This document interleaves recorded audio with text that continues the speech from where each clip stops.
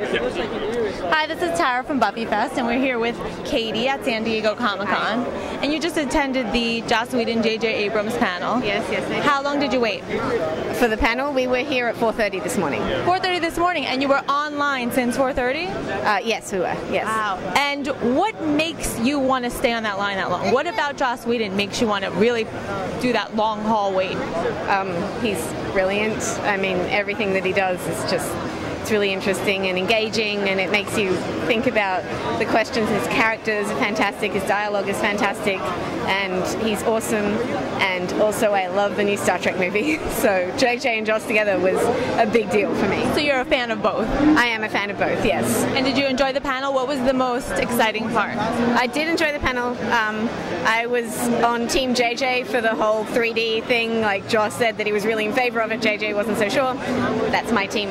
But um, I was excited to ask my question that I didn't get to ask. What was your question? I wanted to ask if JJ could follow in Joss's footsteps in the next Star Trek movie and give women better roles, um, a more expanded role, and bring Gaila back. Now tell us about the Jayne hat.